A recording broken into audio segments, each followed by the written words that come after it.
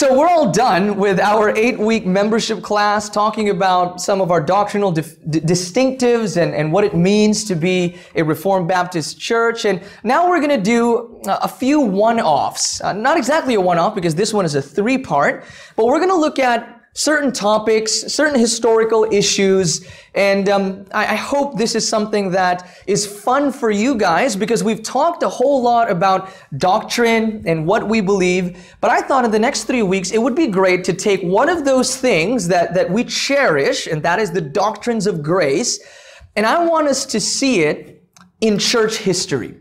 I want us to be able to look at church history, and although we're not going to find a church that is identical to us, um, you know, things have changed throughout church history. There's not been a perfect theologian who has ever lived. We will have differences. Um, we might get things wrong, and we hope that God would correct us.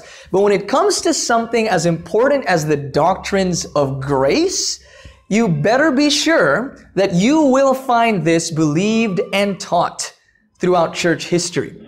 So here's a bit of an introduction to this three part series.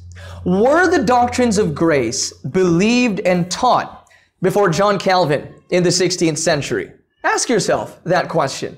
Were the five points, as we know him today, a novel invention popularized by the Synod of Dort in, in 1618 or 1619? Well, in this series, we will uncover a continuity of thought from the early church all the way up to the Reformation, testifying of the historical pedigree of what we believe about salvation. The doctrines of grace, as explained in the pages of Scripture, were believed and taught by many. And if you want to book, bookend it, you might say from Clement to Calvin. That is, from the early church to the Reformation church. I want us to have confidence that what we believe didn't just pop out out of nowhere a few hundred years ago. I want us to have confidence that this is not a novel teaching, that this is historic Christian doctrine. So today we're going to look at the early church fathers. We're going to look at a few examples of the early church fathers. That's from 100 to 500 AD, the type of things that they taught Week two, next week, we'll look at the medieval leaders. This is a huge chunk of church history from 500 to 1500, around that time. And then on the third week, of course, we'll look at the Protestant reformers. Um, that's the 1500s onwards. Now, as we go through these early church fathers, the medieval leaders, the Protestant reformers, I warn you, we're going to do a fair bit of quoting. We're going to read a lot of quotations, okay? I'm going to try to make it as dynamic as possible, but this is what we need to do if we want to do this kind of study. Uh, we don't want to uh, base what we're teaching and what we're studying right now off of hearsay. We want to hear it from the horse's mouth. We want to hear what these guys actually taught. What did these guys actually believe. And I want to remind us once again that you're not going to find a systematized five points doctrines of grace in the first five centuries of the church. That was not the issue that they, that, that one of the big issues they were dealing with at that time. Although once we get to a guy named Saint Augustine, yes, you start seeing that kind of formulation. You'll notice that in church history, oftentimes doctrinal formulation arose reactively. What that means is some crazy teaching would pop up, some heresy would sneak in, so therefore the theologians of the church would go and write treatises against those things, and from there you would see basically what we would call today systematization of doctrine, or systematic theology. Okay? So that's usually the context in which these guys would write their theological positions. They were fighting against a lot of false teaching. And look, you can't blame them and say, why didn't you write out the five points so clearly in the first five centuries of the church? Well, again, there's a mixture in beliefs. There's diversity in beliefs. You know, they're not, we're not identical to them. We have to admit that. And at the same time, they were dealing with, they had larger fish to fry, to put it another way. They were dealing with issues like the deity of Christ and stuff like that. Nevertheless, we see the seeds of the doctrines of grace. And ultimately, our confidence is not in the fact that some great guy in church history taught these doctrines. Remember, Our confidence in the fact that this is what is taught in Scripture. That's where our confidence lies, in the Word of God. But if it is in the Word of God, again, you better believe that men throughout church history caught on to that. They saw that. They held to the teachings of Paul, to the teachings of Peter, and in small forms, in bits and pieces, we will see that they taught and believed in different parts of church history what then came to be known as the doctrines of grace. So a quick recap. What are we talking about here? The five points of Reformed theology. I put a picture there and you might remember that picture. We're talking about what is today known by the acronym TULIP. Total depravity. That is, man, because of his sinful nature, is born into this world morally corrupt and enslaved to sin, and is both unwilling and unable to turn to Christ in repentance and faith. Unconditional election. God's sovereign choice of his people from before the foundation of the world is not dependent upon man's decision or will, but only upon God's free grace. Limited atonement. God's design and intent in the death and resurrection of Jesus Christ was to pay for the sins and secure the redemption of only those whom God had predetermined to save. Irresistible grace. God, by the Holy Spirit, effectually calls and saves sinners by grace, so they are irresistibly brought to saving faith in Jesus Christ. And lastly, perseverance of the saints. Those who are truly saved will persevere to the end. One who is truly saved cannot somehow lose their salvation. God will preserve them. And yes, you will know them by their fruit. Now, this systematization of what we call the doctrines of grace, uh, historically speaking, was most clearly put forth by what's known as the Synod of Dort. And we have today what we call the canons of the Synod of Dort. They didn't use the acronym TULIP because that is modern English, but they had what we call the five points. The Synod of Dort happened in 1618 to 1619 AD. This was not your average debate about Calvinism and Arminianism for hours, a few hours on a Facebook forum. This is a years long forum where the ministers of dozens and dozens of churches from around the globe came together to deal with what was known as Arminianism. They knew that there was something sinister about this Arminian teaching that undermined what the Bible taught about sovereign grace. And so what did these churches do? They said, let's come together, let's have a synod, and let's deal with this issue. Let's put forth a positive statement as to what we believe about salvation. Mind you, it was the Arminians that first came up with their points, their Arminian points and what they believed about salvation. So really the five points were put together as a response. So here we go again, reactive. Put together as a response to the Arminian teachings in that day. Now, Robert Godfrey wrote a really helpful book called Saving the Reformation. It's about the Synod of Dort. He writes, the Synod of Dort was in the first place theological in its concerns. It met to answer the Arminian doctrines and articulate the biblical alternative. In a profound sense, this synod saved the Reformation for the Reformed churches. While Lutherans would reject several elements of the canons, Calvinists saw clearly. Now, now get this that a proper understanding of election was necessary to protect the Reformation's grace alone. A proper understanding of Christ's atoning work was necessary to protect the Reformation's Christ alone. A proper understanding of the regenerating and preserving work of the Holy Spirit and of the Christian's comfort in these doctrines was necessary to protect the Reformation's grace alone and faith alone. Implicit in the canon's conclusions is their commitment to the Reformation's scripture alone as the only source of religious truth. Now the point is this.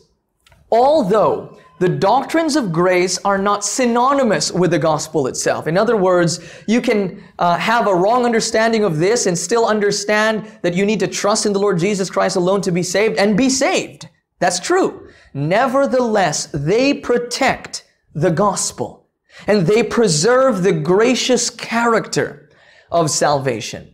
So this is how the canons of the Synod of Dort were put together. First head of doctrine speaks of divine election and reprobation. If God elected some, it necessarily means he passed over others. The second head of doctrine, the death of Christ and the redemption of men thereby. How Christ secures the salvation of those whom God has elected.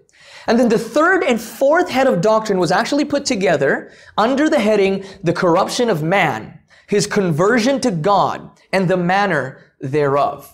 And the last, the fifth head of doctrine is the perseverance of the saints. So you'll notice that it didn't start with the T, total depravity, it started with election, which actually makes a lot of sense because before anything ever happened, before man ever existed, God in eternity elected a people to redeem. But more or less, what we know today as tulip is what was set forth in the canons of Dort. Now, I really quickly would just like to note how the canon, how the synod concluded. This was a deeply doctrinal discussion that lasted about a year. Godfrey then writes on May 29, 1619, the last activity of the synod was to gather in the great church of Dordrecht, that's why it's called Synod of Dort, for a worship service. The pastor there, Balthasar Lydius, who was also a delegate to the synod, preached the final sermon his text was a most fitting conclusion to the work of the synod. And get, guess what? It was not a text that focused on any of the five Calvinistic answers to Arminianism. Rather, it was a text that celebrated the gracious character of salvation. Hear from Isaiah 12, 1 to 3. May this be the preface to everything we are studying the next three weeks. You will say in that day, I will give thanks to you, O Lord for though you were angry with me, you turned your anger away, that you might comfort me. Behold, God is my salvation. I will trust, and I will not be afraid. For the Lord God is my strength and my song, and He has become my salvation. With joy you will draw water from the wells of salvation. To quote Jonah, salvation is of the Lord. And the term Calvinist is really an unfortunate term, but we're forced to use it because that is how it is known. It's easier for us to use this language. But it's unfortunate because it implies that this is Calvin's doctrine. And we're about to see it's not. It's the church's doctrine because it is the Bible's doctrine, because it is Paul's doctrine and Peter's doctrine and Jesus' doctrine. And this is what God's word teaches. Now, I want you to understand also that we're actually going through a resource, and if, if you want, you can purchase this for yourself. It's a really, really helpful resource. It's called Pillars of Grace.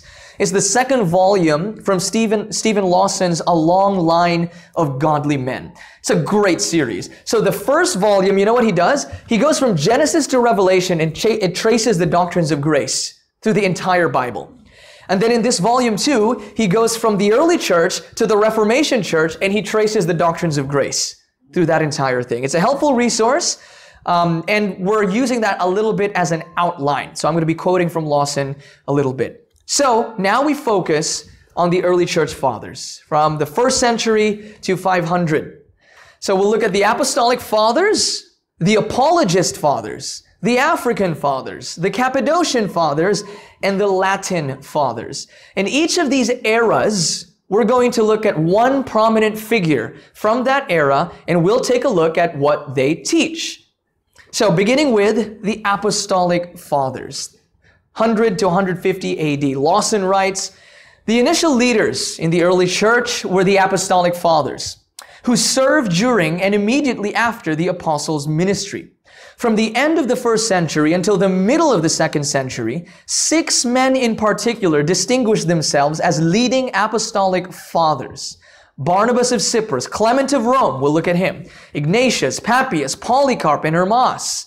Some of them actually knew the apostles, while others were considered the first fruits of the apostolic ministry. These first pillars were the earliest Christian authors, and they formed a vital link between the apostolic era in the second century church. Now, you will not see, like I said, much systematization and exposition of scripture regarding the doctrines of grace in the apostolic fathers. Um, one of the reasons that that is, is because these guys simply like to quote scripture. You know, many have said that you could, you could restore pretty much the entire New Testament just through the quotations of the early church fathers alone.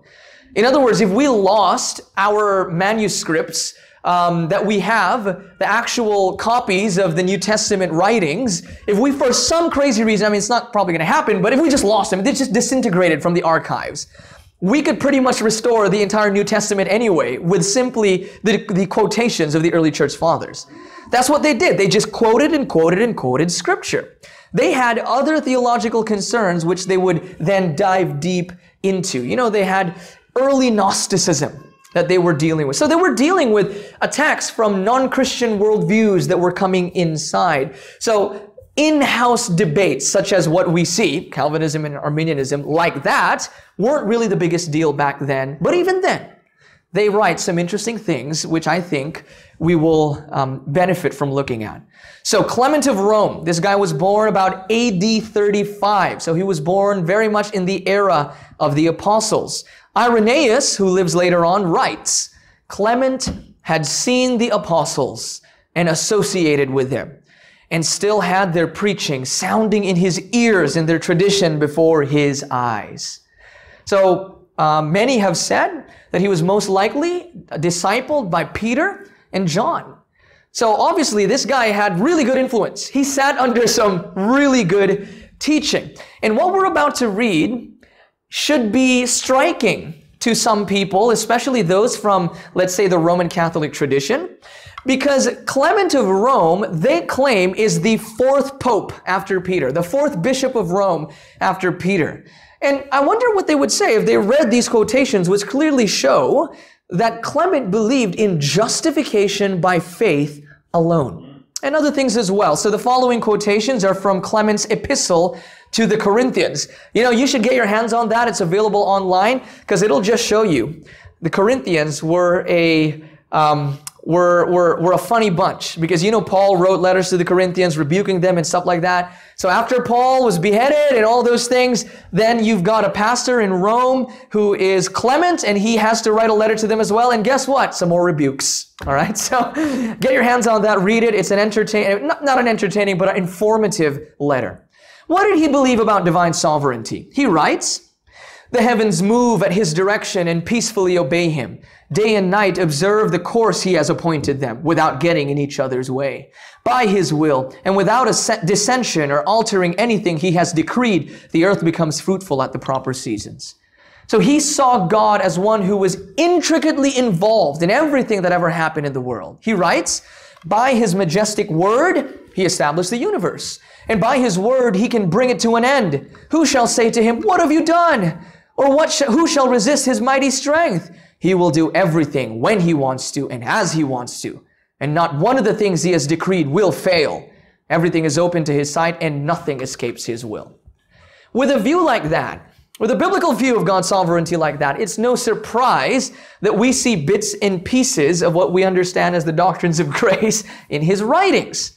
Now, I will warn you, the early church at this time did not have a very robust understanding of original sin and our inherited guilt from Adam. I mean, they believe bits and pieces of this, but it's not like it's not like Louis Berkhof or Bavinck or something like that. Okay? Again, they were convinced, uh, they, they, were concerned with lots of quoting from Scripture, not exactly um, the systematization that we're used to today.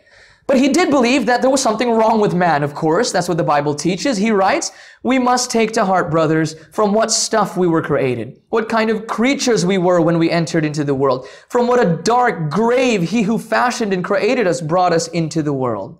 And that's why he says, we're not justified of ourselves or by our wisdom or insight or religious devotion or the holy deeds we have done from the heart. So Clement believed that we couldn't justify ourselves. From the moment we came into this world, there was something very wrong with us, and therefore no religious deeds could ever justify us. What did Clement think about election? Well, he did call the Christians in the beginning of his letter the elect of God. But this is not a surprise because that is literally what the New Testament calls the church That is what Peter calls the church in his letters, the elect of God. And he writes, Clement, we must then approach him with our souls holy, lifting up pure and undefiled hands to him, loving our kind and compassionate Father who has made us his chosen portion. Okay, not exactly clear, slightly ambiguous, you might say. As he comments on Psalm 32, Clement says, Happy is the man whose sin the Lord will not reckon. This is the blessing which has, which was given to those whom God chose through Jesus Christ our Lord. To him be the glory forever. Now again, that's just New Testament language. He's basically quoting New Testament there. How about the atonement? He writes, It was by the blood of the Lord that redemption was going to come to all who believe in God and hope on Him. Now, you could look at that quote, it could go both ways. It could go both ways. People could quote this guy and say, yeah, because God knew who was going to believe in him, and that's why Jesus died specifically for those people. Well, he continues, by love, all God's elect were made perfect. Without love, nothing can please God. By love, the Master accepted us. Because of the love he had for us, and in accordance with God's will, Jesus Christ our Lord gave his blood for us, his flesh for our flesh, his life for ours. So he clearly limited the atonement. Clearly. How about calling? What did he believe about how people are drawn to Christ? He says, the church of God which sojourneth in Rome to the church of God which sojourneth in Corinth, to them which are called and sanctified by the will of God through our Lord Jesus Christ. And it is the will of God that all whom he loves should partake of repentance and so not perish with the unbelieving and impenitent. He has established it by his almighty will. Justification. This is a really clear quote. Pay attention to this. And so we, having been called through his will in Christ Jesus, are not justified through ourselves or through our own wisdom or understanding or piety or works, which we wrought in holiness of heart, but through faith Okay, people have this crazy idea because of misinformation that after the apostles died, Roman Catholicism took over and everything was work salvation, and that is absolutely untrue. You see this? One of the successors of the apostles, and he teaches justification by faith alone. He even says that this is how man has always been saved. Look at the last part. Whereby the Almighty God justified all men that have been from the beginning. Man has only ever been justified by faith alone. So, the point is, Clement affirms that God is absolutely sovereign. He hasn't elect people. Christ shed his blood for those people. Those people will surely come to Christ, and perhaps most clearly, they are justified through faith alone. That is the testimony of one of the prominent teachers of the first, second century church. Now, the apologist fathers, from 150 to 250. Lawson writes, by the end of the second century, the Christian faith was becoming a compelling force within the Roman Empire. Remember, they were still heavily persecuted, though, but they were growing. As a result, many of Rome's most profound thinkers were becoming followers of Christ. From their ranks arose the next wave of Christian leaders, men known as the apologists, Justin Martyr, Tatian the Assyrian, Irenaeus of Lyons, Athenagoras, Aristides, Theophilus, Minucius, and others. These gifted Greek authors sought to present a sound defense of Christianity in the face of intellectual attacks and mounting persecution. As their title suggests, these apologists were brilliant defenders of the Christian faith, men who wrote against sophisticated philosophical attacks on the gospel. So as the church advances in early church history, now, we're going to start to see doctrinal formulation. It's going to be a little bit more familiar to us because these apologists, if you will, were now concerned with dealing with attacks that were quite intellectual. So these guys came in and they dealt with some of the best philosophers that, that the Greeks and the Romans and the Gnostics had to offer. And often, as I've said, this theological formulation was done reactively. So, these apologists spent a lot of time writing against what? The excesses of Greek philosophy, Gnosticism, and other issues. So, here is Justin Martyr, who lived in 100 AD onwards. Eusebius writes about him Justin was, in his fullest prime, in the time of these men, presenting the divine word in the garb of a philosopher and contending for the faith in his treatises. In this era, we begin to see that Christian theologians can go toe to toe with the best of the Greek and Roman philosophers. So these quotations that we're about to read mostly are from a really interesting dialogue that Justin Martyr had with a guy named Trypho the Jew. Trypho the Jew was classic Orthodox. He was basically saying that because he was an ethnic Jew, he was the chosen people of God. And because of that, this Jesus and Messiah and Gentile church business was crazy talk. And so what did Justin do? He took the scriptures, he very charitably dialogued with Trypho the Jew. They had a back and forth. And he was really gracious in applying biblical truth to their conversations and trying to show him, hey, hey, hey, no, no, no, no. Just because you're an ethnic Jew doesn't mean that you're saved. And just because I'm not a Jew doesn't mean I'm alienated. Look what the Bible has to say about these issues. And of course, at the end of the day, it was all about the gospel. So Justin just put forth the gospel, the gospel, the gospel. We see what he believed about depravity. He writes, he did not, Jesus, did not condescend to be born and to be crucified because he was in need of birth or crucifixion. He did it solely for the sake of man, who from the time of Adam, here's the development, had become subject to death and the deceit of the serpent, each man having sinned by his own fault. No one can perceive or understand these truths. He's talking about gospel truths unless he has been enlightened by God and his Christ. As they deepen in their understanding of the nature of the inherited sin that we have from our forefather Adam, they were able to more deeply grasp as well and set forth the necessity of the Holy Spirit's illumination in order for us to even understand divine truth. He taught about election in the context of his conversation about um, the Jews and, and speaking to Trypho. He says, In the beginning, God dispersed all men according to nationality and language. And from all these nations, he chose for himself yours. He chose the Jews, a useless, disobedient, and faithless nation. So he acknowledged that. He goes, look, God has sovereignly chosen the nation of Israel. And then he continues, but listen, Trypho, and he showed that those of every nationality who were chosen have obeyed his will through Christ. So God has a portion among the Jews and he has a portion among the Gentiles as well. And these are God's chosen ones. The atonement. He believed that Christ also became man, as we state, and was born in accordance to the will of God the Father for the benefit of believers. So again, this is not a fully developed limited atonement as we call it today. At the very least though, Justin made it clear that the atonement only applies to those who trust in the Lord Jesus Christ. And how do we come to Christ? Calling. I love how he writes this. Do you gentlemen suppose that we could have grasped the meaning of these scriptural passages without a special grace from him who willed them? God needs to will it to happen for you to understand.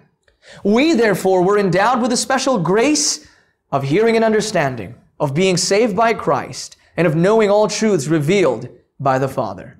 He saw that entire package as a special grace. Hearing and understanding, being saved, knowing the truth revealed by the Father, that is a special grace which God endows to people. And the point is, Justin's writings highlighted the necessity of the Spirit's work in order for a person to understand and even more to believe the gospel. Now, guys, don't get it twisted. As we're going through these guys, they did have a lot of strange teachings as well. Okay, these guys were not perfect theologians. I don't want you to leave this study and go, oh man, Justin Martyr and Clement of Rome, they were Reformed Baptists, you know? No, it wasn't like that, okay? There's a diversity, especially in early Christendom. Nevertheless, this is what we're seeing. We're seeing the seeds of a Protestant understanding of gospel truth. So now, we have the African Fathers from 200 to 375 AD. Lawson writes, by the third century, the North African coast of the Mediterranean had become a stronghold for the Christian faith. In the thriving Egyptian city of Alexandria, the school of Alexandria developed into a bastion for Christian truth. As the first center for the Christian learning, uh, for Christian learning, the school taught essential doctrines of the Christian faith along with Greek or Hellenistic reasoning, forming what became known as the Alexandrian theology. These guys were helpful because they realized that not all of philosophical thinking was inherently sinful. So they believed that they could actually engage with the philosophers by engaging with philosophy themselves, but ultimately turning to the scriptures as their source of truth. They were theologians, first and foremost. Another chief city of Roman Africa, Carthage, also became an important center for the teaching of fundamental Christian doctrine. So they fought against all kinds of heresies Neoplatonism, Montanism, Manichaeanism, Arianism, denying the deity of Christ was one of the main issues, and even the deity of the Holy Spirit. In this era, we begin to see the sharpening of biblical doctrine and also a clear defense of original sin. Here is Cyprian of Carthage. Augustine, St. Augustine, had a lot of good things to say about this guy, and that means a lot because Augustine was obviously a brilliant theologian. He writes about Cyprian that he is the most lauded commentator on the divine declarations, that loveliest of teachers, so memorable a teacher of the word of truth, and the most luminous doctor. Cyprian was one who preached, and this means a lot from Augustine, the true grace of God as it should be preached that is the grace which no human merits precede. Amen. Now, here we will really see doctrines of grace kind of language. The depravity of man, he, he um, um, Augustine writes about let us consider the judgment of God, which at the very beginning of the world and of the human race was passed upon Adam, who was unmindful of God's command and a transgressor of the law that was imposed. Then we shall know how patient we ought to be in this world. We who are born under the condition that we might struggle here under trials and conflicts. We are all bound and confined by the bond of this conscience. And he says that this is true even for newborn babies. The only thing that he, an infant, has done is that being born after the flesh as a descendant of Adam, he is contracted from that first birth, the ancient contagion of death. So we're dead from birth. You might even say we're dead from conception. We are born dead in sin. Election. He gets very clear. Believers are elected to hope, consecrated to faith, destined to salvation, sons of God, brethren of Christ, associates of the Holy Spirit, owing nothing any longer to the flesh. And Augustine loved this guy. Augustine loved quoting this guy. Augustine writes that Cyprian teaches predestination as preached by the apostles. He adds, this is what Cyprian saw with complete faith and declared with full confidence. And by it, he certainly proclaimed predestination to be most certain.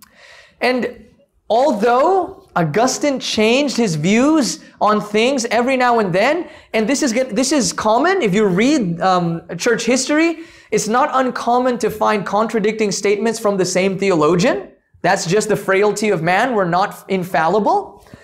About perseverance, though, he did write, and this is part of his thinking. There is nothing that can separate the union between Christ and the church. That is, the people who are established within the church and who steadfastly and faithfully persevere in their beliefs. Christ and his church must remain ever attached. So we're always joined together. How about people who fall away? Now, you hear a lot of modern theologians talk about this in a Q&A. It's a question that many Christians have, but he was already addressing it. Those who withdraw from Christ have only themselves to blame for their own destruction, whereas the church, which believes in Christ and holds fast to the teachings it has learned, never departs from him in any way. The true church remains in the house of the Lord. Lastly, the Lord, who is the protector and guardian of his own people, does not allow his wheat to be plundered from his threshing floor. It is only the chaff that can be separated off from the church. There's a difference between the wheat and the chaff. So we are now seeing continuity of thought regarding the so- sovereign grace of God. These connections are important because Calvin's work on this topic involved heavily quoting these fathers. Calvin was basically quoting them and quoting them to prove to Rome that the Reformation was not a theological novelty. It is historic. Now, let's turn to the Cappadocian Fathers. 325 to 400. We're almost done. One more after this. Lawson writes, following the death of Athanasius, the focus of the church shifted to the eastern region of the Roman Empire. Three notable men known as the Cappadocian Fathers, Basil of Caesarea, Gregory of Nazianzus, and Gregory of Nyssa, became the chief defenders of Christian orthodoxy. So these guys were in Asia Minor, modern day Turkey, and there was lots of Arianism that was now spreading, and God used them to really solidify the church's understanding of the Trinity. Let's get our bearings right. Emperor Constantine comes into power when? 312 AD. And he starts to Christianize the Roman Empire. He didn't do it officially yet, his successor did, but he, he makes it legal and he starts Christianizing the Roman Empire. And in 325, he called for a church council called the Council of Nicaea because to be honest, it, was it really because he was, he loved sound doctrine? Uh, I don't think so. It was, it was more of the Arian teaching against the deity of Christ was dividing the empire. He didn't want a divided empire. He was an emperor. So that was probably one of his great drives as to why he called for the Council of Nicaea. Now, it wasn't just him, it was everybody else that was concerned as well. But why was he for that? He wanted unity. Because of his love for Christ? Well, he would probably say that, but we might say it was because of his love for the power of the empire staying one and whole. 381, Council of Constantinople. That's another council that improved upon the Council of Nicaea. Our orthodox doctrine of the Trinity can be found in that document that came out of that. So, all of this is happening. And what was going on with the doctrine of the Trinity? Well, there were three views, main views, on the nature of Christ. There was the belief in homoousios, same nature. That Jesus the Son and God the Father have the same nature, same essence, same being. But then there was heterousios, that they had a different nature, that they were different beings altogether. And then there was homoiousios, which seemed to be a healthy compromise, and Arius himself settled for that, and that means similar nature. But for the orthodox defenders of the truth, that was not good enough. The Bible teaches that the Son and the Father are one in essence, one being, homoousios, same nature. And the kind of exegesis and systematic theology, which was used to explain and defend the Trinity, then benefited the development of the doctrines of grace. We see this in Gregory of Nazianzus. He earned the nickname the theologian. Now that's a good nickname. He was known as the theologian.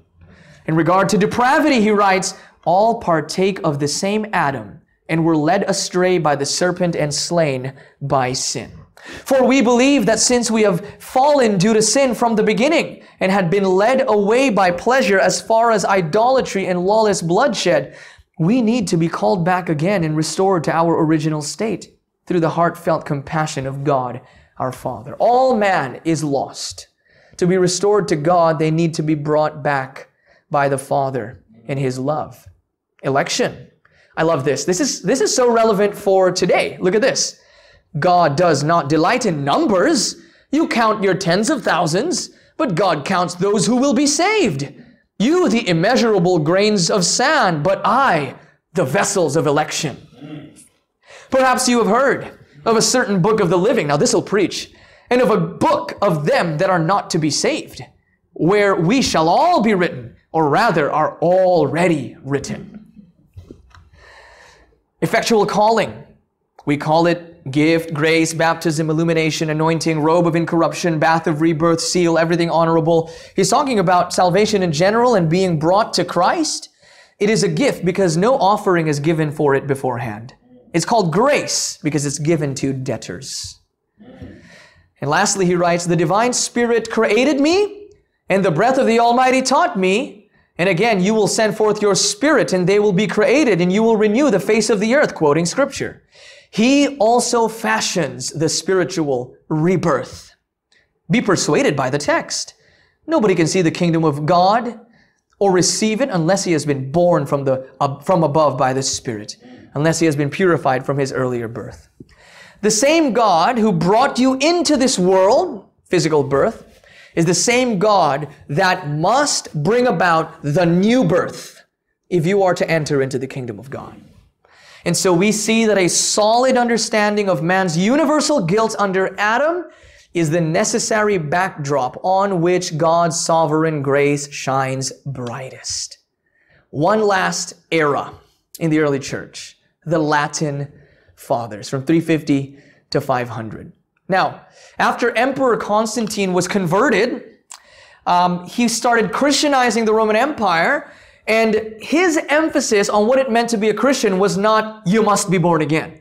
His emphasis was more on just join, join the empire. You know, be baptized, join the group, join the religion. And so the unconverted began joining the church de facto or by default.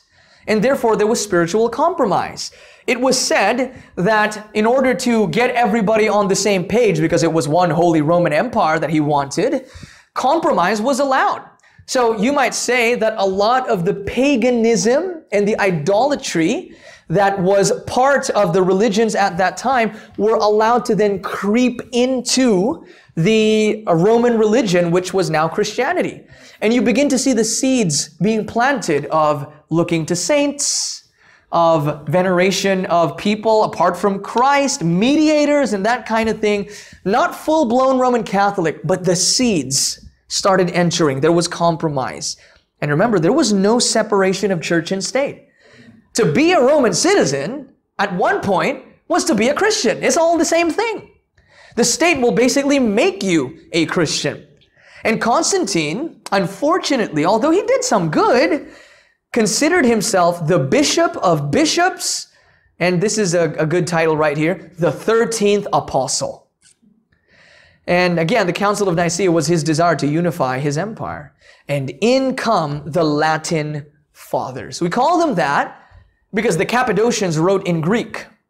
History is moving forward now. These guys are writing in Latin. Lawson writes, the fourth and early fifth centuries witnessed the rise of the Latin fathers in the West, including Hilary of Poitiers, Ambrose of Milan, Jerome of Rome and Jerusalem, and Augustine of Hippo. These were called, these men were called Latin fathers because their theological works were written primarily in Latin, the language of the western provinces of the Roman Empire. They were less concerned with the dangers of Gnosticism, and now more focused on other areas of theology. The church was getting established in its Trinitarian doctrine and things like that, so now they could start dealing with other issues.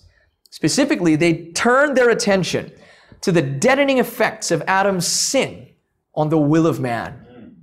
So after the apostles, this era right here reveals the closest link to Reformation theology in regard to the doctrines of grace. Please meet Augustine of Hippo. Roger E. Olson, who is a modern day theologian, a classical Arminian, acknowledges the importance of Augustine. He says, Augustine is the end of one era as well as the beginning of another. He is the last of the ancient writers and the forerunner of medieval theology. The main currents of ancient theology converged in him, and from him flow the rivers not only of medieval scholasticism, but also of 16th century Protestant theology. We are indebted to guys like Augustine. Sovereignty of God was clear in his writings. The true God created the world and by his providence rules all he has created. He says that, nor shall we think that human affairs in the case of infants are governed not by divine providence or but, but by chance. when these are rational souls which are to be saved or condemned. And yet not a sparrow falls on the ground without the will of the Father in heaven. Now, this is a strong statement right here because uh, this last one, he writes, From Adam has sprung one mass of sinners and godless men, in which both Jews and Gentiles belong to one lump apart from the grace of God. If the potter out of one lump of clay makes the vessels unto honor and makes some vessels unto honor and another unto dishonor, it is manifest that God has made of the Jews some vessels unto honor and others unto dishonor and similarly of the Gentiles. So God has his elect among all people, those who he has elected unto salvation and those whom he passes over. In regard to depravity, he writes, man's nature indeed was at first faultless and without any sin. Augustine really helps us understand the biblical doctrine of man. Sproul explains, R.C. Sproul, in creation, said Augustine, Man had the posse peccare, the ability to sin, and the posse non peccare, the ability not to sin. So he helped us understand before the fall, Adam had the ability to sin and the ability not to sin. That is free will. But after he exercised that free will to sin, the sin, the will was corrupted. The nature was corrupted. The man, man was put under a curse and sin affected our faculties. And now after the fall, man is always sinning. When you are born again, you are made able to sin, able not to sin. By the grace of God, we seek to obey Him. And when you are glorified, you will never sin. When you are glorified, you will always do what is right, for you will be in the perfect presence of God. And in these quotes, Augustine just extrapolates that doctrine and says that basically, look at that last one uh, um, under depravity. For it was in the evil use of his free will that man destroyed himself and his will at the same time. And then he makes an illustration. He says, you exercise genuine decision when you kill yourself, if you wanted to kill yourself. But after you killed yourself, I'm sorry, there's nothing you can do about it anymore. And he said the same thing about what man did with his will. He basically exercised his free will to kill himself spiritually, to sin. And I'm sorry, after that, there's nothing you can do about it anymore. You've deadened yourself in sin. Election. Some of his greatest writings were, of course, against what were known as the Pelagians or the followers of Pelagius. If you don't know what Pelagianism is, uh, it is free will on steroids. It is basically the teaching that man inherently has in themselves the ability to please God, to make the first move, to come to God, and ultimately do something in order to merit salvation. He writes, For the Pelagians think, we can, through our own power, once we have received God's commandments, become, by the choice of our free will, holy and spotless in His sight in love, and they say, since God foreknew that this would be the case, He chose and predestined us in Christ before the foundation of the world. Isn't that a familiar argument? So the Pelagians were saying, who's the elect? Those whom God found out or foreknew would choose Him. He looked down the tunnels of time. And remember that Pelagianism was condemned by the church as a heresy. This is a pagan understanding of the mind of God that God is able, eh, God looks down the tunnel of time and finds things out, and on that basis decrees things. That is not the biblical doctrine of election or the divine decree. I think that's quite clear. I'm going to stop right there. Um, I don't feel pressured whatsoever. Next week we can pick back up on some of these quotations. But as you can see, Augustine was very clear with what we, he believed about the fallen nature of man, sovereign election, and the grace of God. So to conclude, just like today's theologians, these men were mere men who did not have an infallible grasp of Scripture, but they testify of God's providence in preserving the truths of sovereign grace in the early church.